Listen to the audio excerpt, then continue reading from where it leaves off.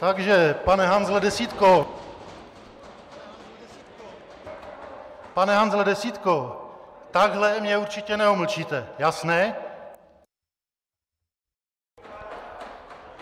Já jako volený zástupce lidu mám právo se vyjádřit, jestli tady půjdeš, dostaneš flákanec, jasné?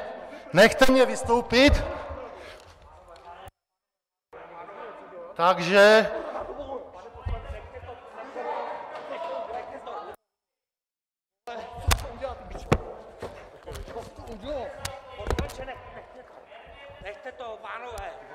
Takže já jsem vás varoval. Pane poslanče,